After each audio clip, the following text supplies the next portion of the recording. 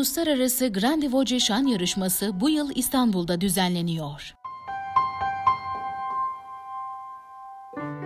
İstanbul Devlet Tiyatrolarından Picasso'nun hayatından bir kesit sunan oyun. 5 sanat bölümünde perküsyonist Mehmet Akatay. Mehmet Erdem'le müzik kariyeri üzerine söyleşi. Kültür sanat gündemini hayatınıza taşıyan Hayat Sanat başlıyor. Bir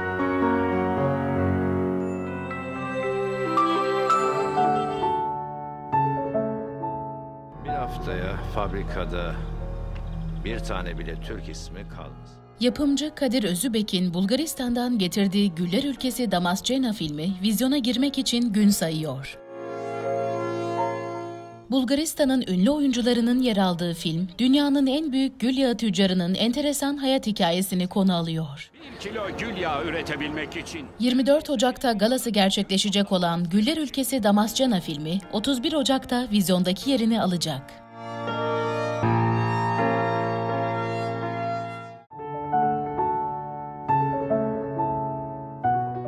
Kırşehir'de orta ve ağır düzeyde zihinsel engeli olan gençler, Aşıkpaşa Halk Kütüphanesi'nde açılan kitaplarla iç içe oldukları takı tasarım kursunda hayata katılıyor. Halk Kütüphanesi'ndeki takı tasarım kursunda misinaya boncuk dizerek bileklik, kolye ve bilezik gibi hediyelik ürünler yapan, yaşları 22 ila 30 arasında değişen gençler, dinlenme saatlerini ise başka bir salonda kitap okuyarak değerlendiriyor.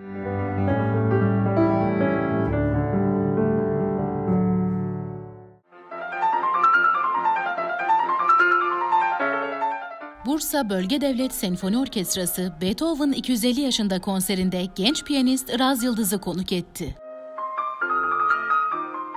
Konseri şef Antonio Pirolli yönetti. Coriolan üvertürüyle başlayan konserde Beethoven'ın konçerto yapıtlarından olan ikinci piyano konçertosu Bursalı müzikseverlerin beğenisine sunuldu.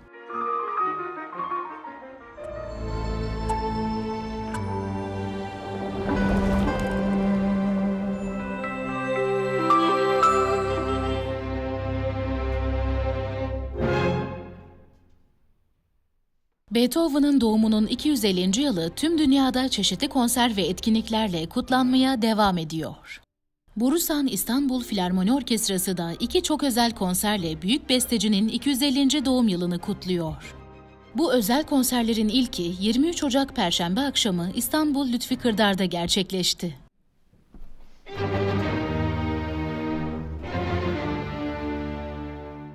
Orkestranın sanat yönetmeni ve sürekli şefi Sasha Götzel yönetimindeki konserin konuğu günümüzün usta yorumcularından piyanist Rodolfo Leone oldu.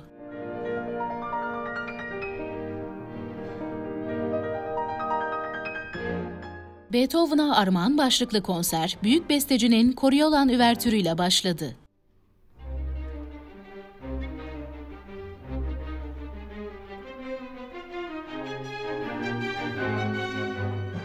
Konser, Beethoven'ın piyano dağarcığına kazandırdığı konçertoların sonuncusu olan İmparator eseriyle devam etti.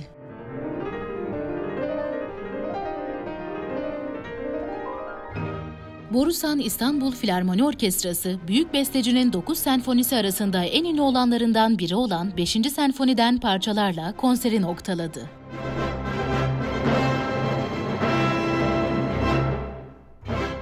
Beethoven'ın 250. doğum yılına adanan ikinci konserse Salzburg Bach Korosu ve sürpriz solistlerin katılımıyla 14 Mayıs'ta düzenlenecek.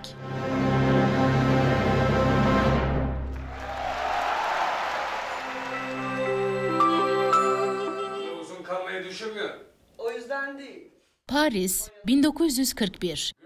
Nazi işgali altındaki Fransa'da yaşayan Pablo Picasso. Amerikalılar Çekoslovakya'yı, Belçika'yı ve Paris'i almamıza ses çıkarmadılar.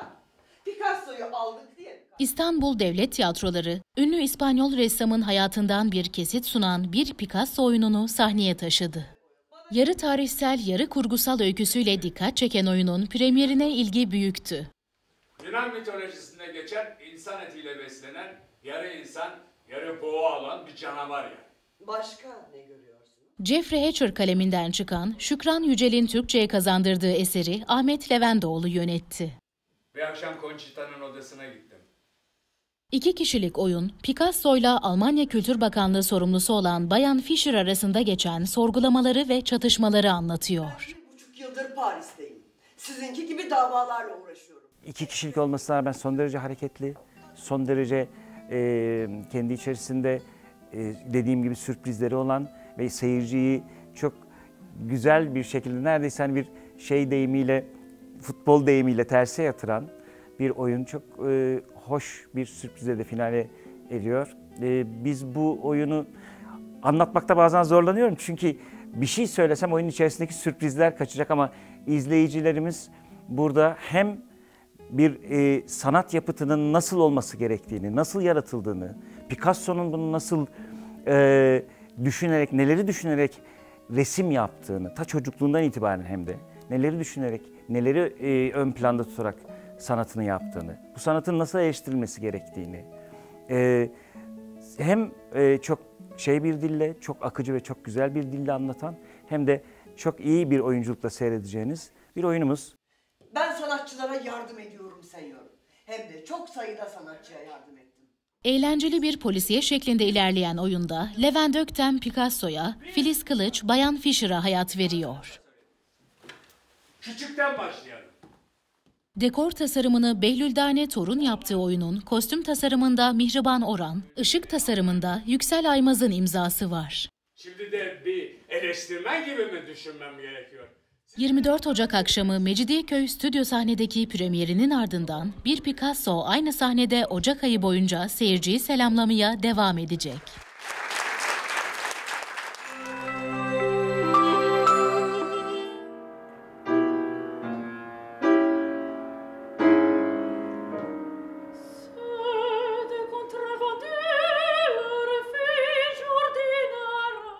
Uluslararası Grande Voci şan yarışması birbirinden yetenekli yarışmacıların katılımıyla başladı.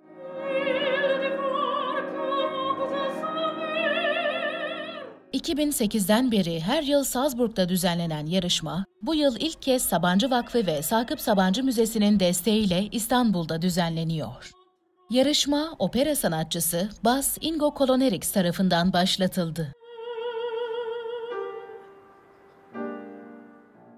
The Grandi Voci competition uh, exists since over 10 years, but we did it always in Salzburg, Austria, where we have a big opera festival in a 400 year old opera theater where even Wolfgang Amadeus Mozart uh, performed his first operas. And in this venue, we will play in 2020 uh, several operas Äh, Nabucco from Giuseppe Verdi, Die Zauberflöte by Mozart, Eugen Onegin from Tchaikovsky, and others. And for these operas, we are casting singers from worldwide. And last year, we had already our competition in Salzburg, and we decided to make another competition in Istanbul because Turkey is a, how can I say, a place between the continents, between the worlds. And so we wanted that other people from other countries can also join this competition. That's why we came here to Istanbul.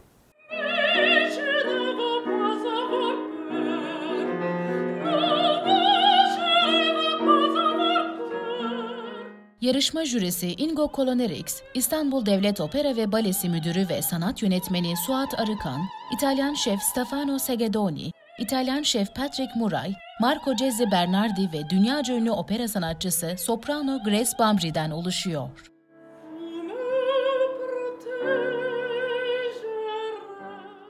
We had 120 applications from over 40 nations.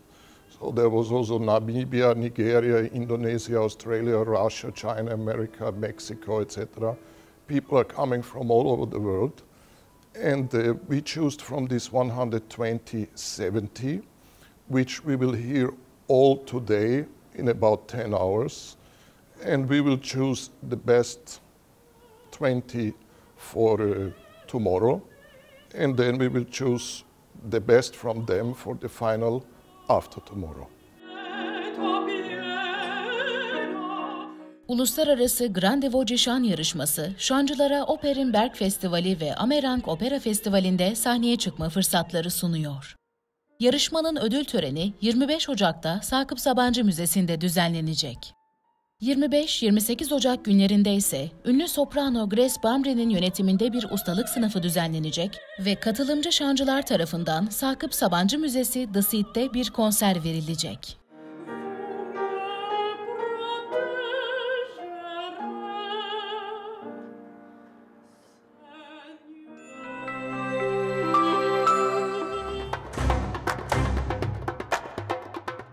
Fotoğraf ve yanılsama üzerine eserler sunan sanatçı Hakan Sorar'ın Recolor isimli kişisel sergisi sanatseverlerle buluştu.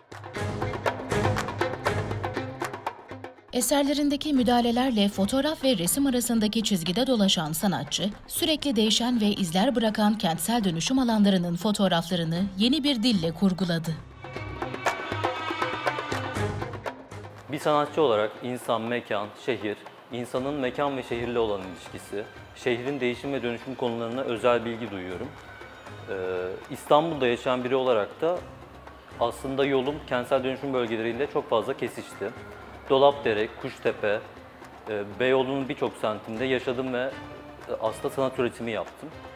Bu seride de e, sürekli değişen şehre dair çıktıları sunmaya çalıştığım bir seri oldu. Her gün aslında kentsel dönüşüm bana sunduğu bir manzaraya bakıyorum. Serginin en büyük işi de aslında biraz bunu anlatıyor.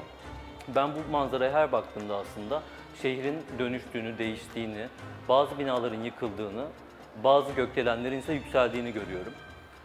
Aslında buradaki karşıtlıktan yola çıkarak resim, e, fotoğraflarımda çok fazla kırmızı kullanıyorum. Hakan Sorar, yeniden renklendirdiği ve parçalara ayırdığı karelerinde dönüşen, dönüştükçe de parçalanan belleği aktarıyor. Sergide insanı anlatırken doğa ve yapay ikiliğinden aslında plastik mankenler üzerine gittim ve e, kentsel dönüşüm bölgesinde bulunan manken atölyelerini gezerek fotoğrafladım ve sergide yer verdim. Bazı portre çözümlemeleri yaptım ve e, çektiğim fotoğrafları e, parçalayarak yeni bir kurguyla seyirciye sunmaya çalıştım. Kenti fotoğraflarken insan faktörünü bunun içinden asla çıkaramam. Ee, insanı nasıl sergimde e, incelediğimi soracak olursanız aslında e, kentsel dönüşüm bölgelerinin etrafındaki bit pazarlarını dolaşarak insanların geride bıraktıklarını inceledim.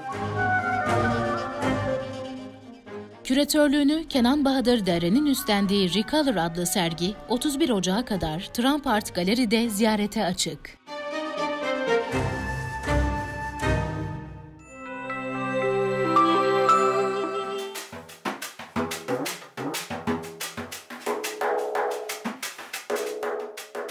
Mehmet Akatay, Türkiye'nin önde gelen perküsyonistlerinden.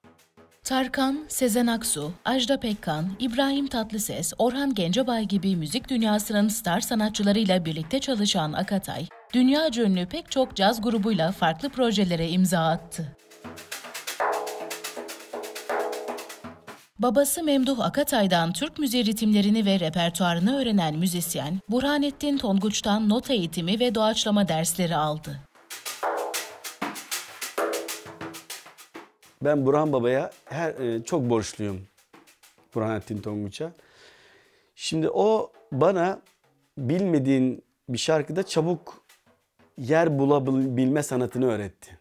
E bu da benim bir caz parçasına, bir güncel bir parçaya, bir soul, bir blues, ne bileyim bir rock parça, bir pop parçaya çabucak eşlik etme yeteneğimi ortaya çıkardı.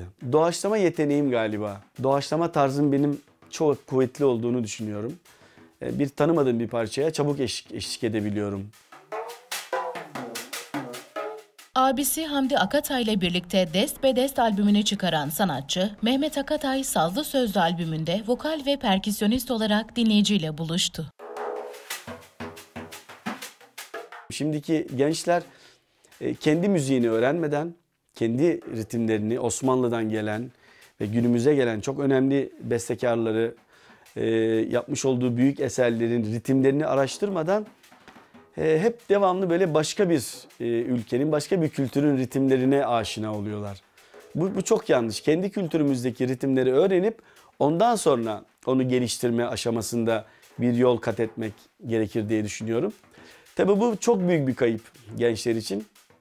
Devamlı hızlı çalmak, devamlı e, performansa dayalı, çabuk çalmak, böyle e, hani olağanüstü çalmak e, şeklini onunla bağdaştırıyorlar. Aslında dünyada en zor ağır çalmaktır ritimde. Ağır eşlik etmektir. Yani daha doğrusu bir melodiye eşlik etmek, bir müziğe hizmet etmektir.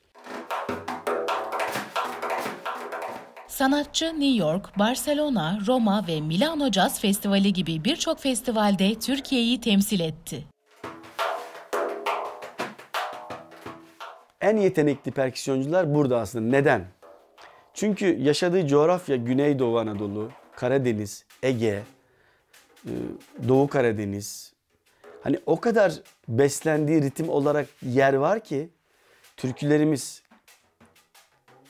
Karadeniz, Doğu Anadolu, İç Ege e, yani say say bitmiyor. Şimdi bu coğrafyada coğrafyada yetişen perküsyon sanatçısı dışarıdaki tek düze müzik yapan caz sanatçısı olsun, rock sanatçısı olsun vesaire hangi dalı e, dalda müzik yapan bir perküsyoncu olursa olsun ondan daha avantajlı. O kişi sadece o dalı çalabiliyor. Ama bizim Türkiye'de yetişen perküsyon sanatçıları inanın her şeye eşlik edebilecek düzeyde. Enstrümanlarıyla dünyayı dolaşan Mehmet Akatay, özel projelerde yer almaya devam ediyor.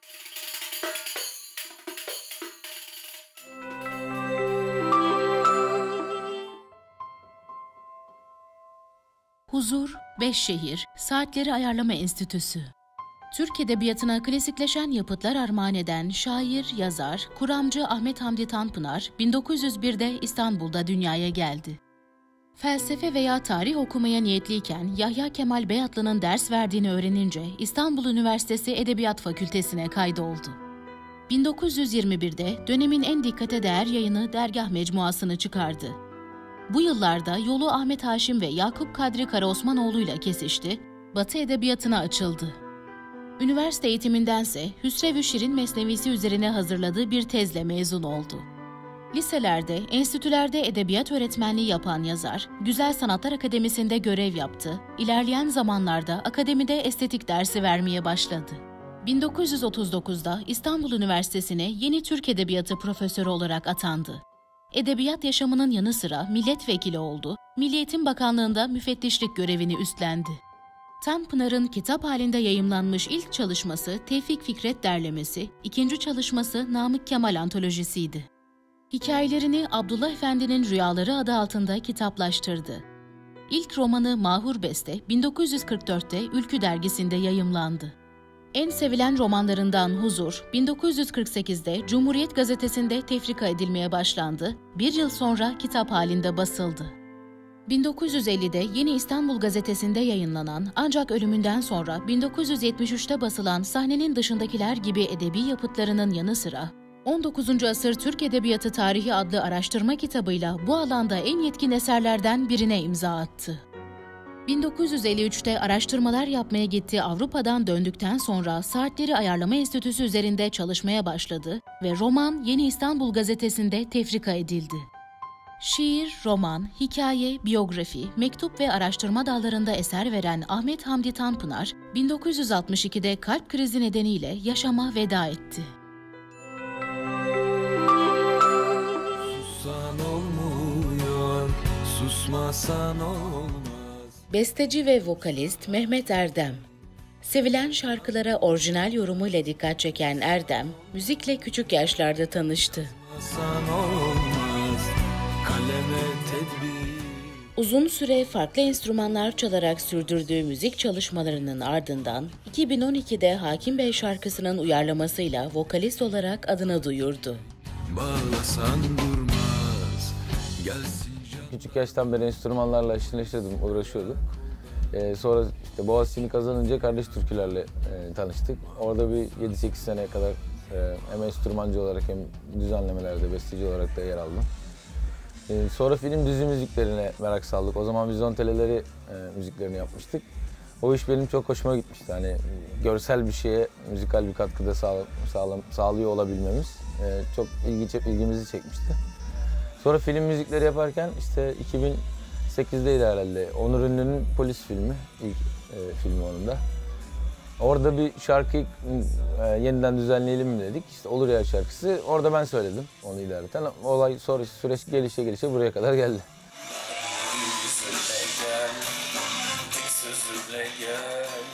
Mehmet Erdem yaptığı düzenlemelerle şarkılara bambaşka bir kimlik kazandırıyor. İlk albümde çıkış şarkımız Hakim Bey, bir Sezen Aksu şarkısı. Ama işte ilk söylediğim şarkıda Olur Ya da e, rahmetli Fikret Şeneş'in e, Türkiye'ye adapte ettiği sözlerini e, Giannis Parius'un e, Yunan'da bir beste. Biz bayağı kendi meşrebimizi yapmaya çalışıyoruz şarkıları. Yani düzenlemeye özen göstermeye çalışıyoruz. O biraz da hani şarkıları kimi zaman e, dinlemeye alıştığımız e, formun dışına da çıkarıyor. Çünkü biz de öyle dinlemek istiyoruz arada. Mesela Olur Ya şarkısı çok daha hareketli bir şarkı olarak yorumlanmıştı. Biz onu çok daha hani e, daha bir balat gibi düşünmüştük. Yani daha sakin düşündük. Veya diğer e, başka şarkıları da mesela Hakim Bey de ilk başta bizim zannettiler. Hani dedi ki Sezen Aksu'nun şarkısı yani çok önemli bir şarkı. E, Sezen Hanım kendisi bile dedi hani ben bu şarkıyı sana yazmışım haberim yokmuş gibi. E, Biz o kısmını biraz da hani mutfaktan geldiğimiz için yani düzenleme kısmına bu şarkıya ne yapabiliriz müzikal olarak ona bakmaya çalışıyoruz bayağı.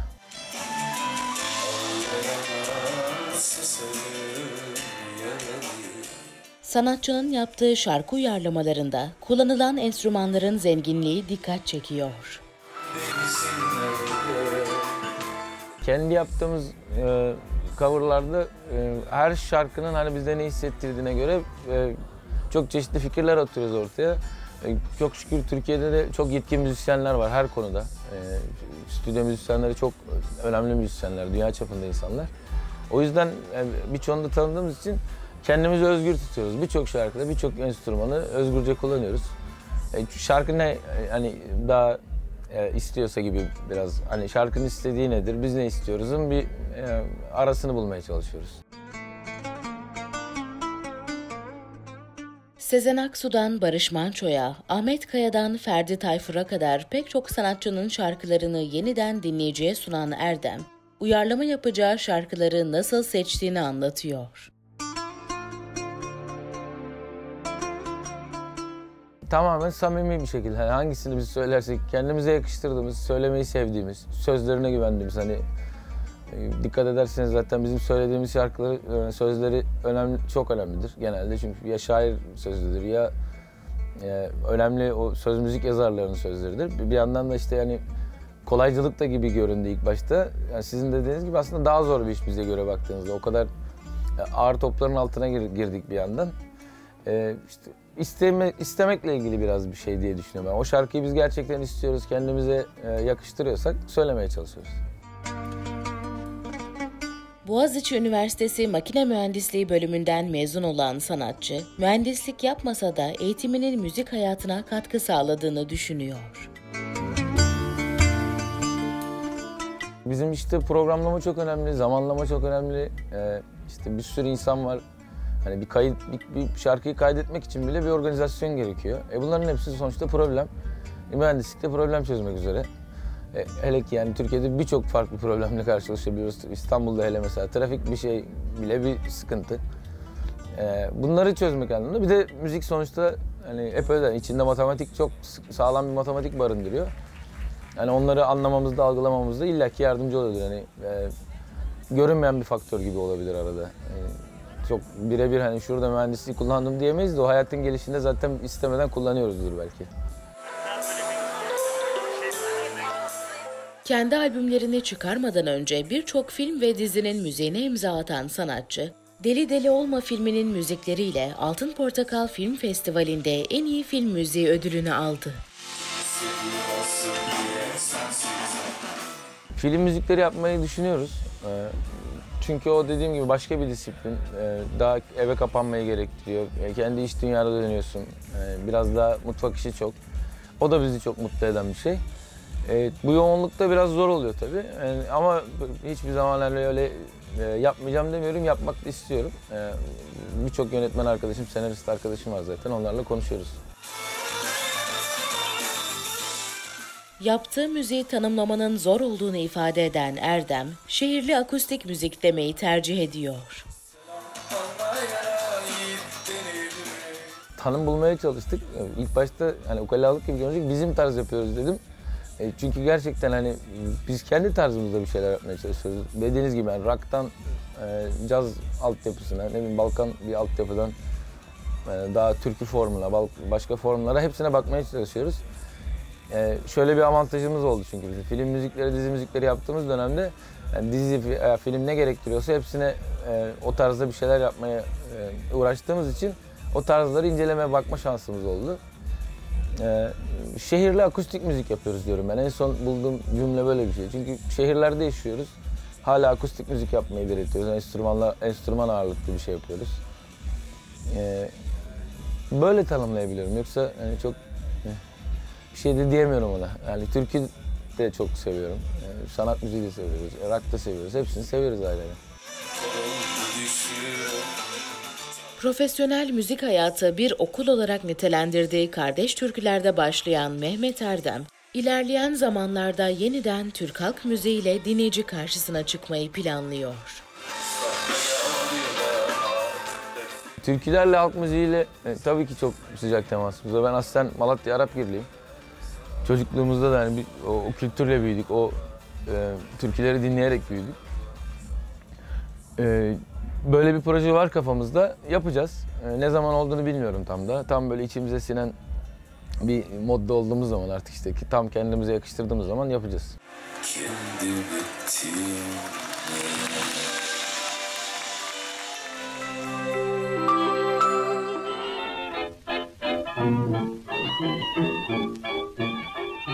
İstanbul Devlet Tiyatrosu'nun bol ödüllü oyunu Bir Peri Masalı Radyum Kızları Üsküdar Tekel sahnesinde.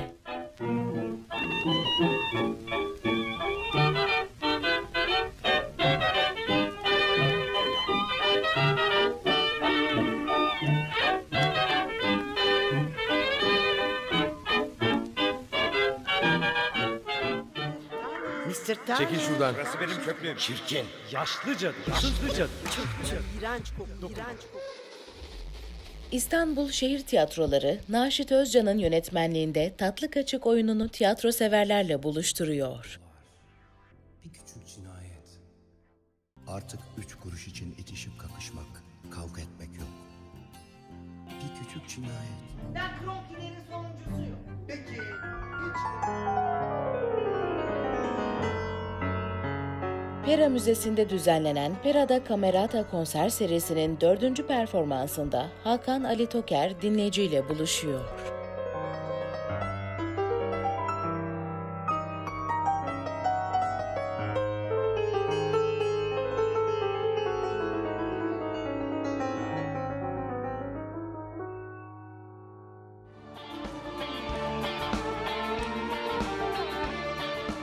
Sevilen şarkılarıyla Feridun Düzağaç İstanbul'da sahne alıyor.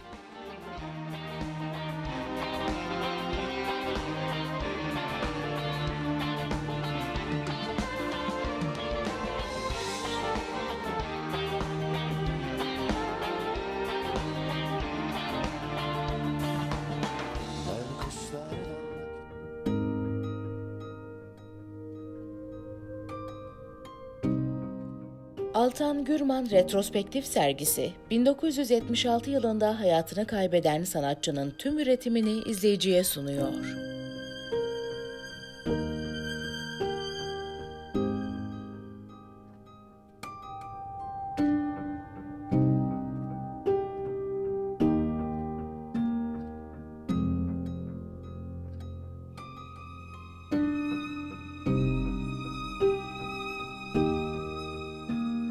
İstanbul Modern'in düzenlediği Sen Söyle adlı sergi, Canan Tolon'un 1980'li yıllardan günümüze uzanan sanatsal birikiminden bir kesit niteliğinde.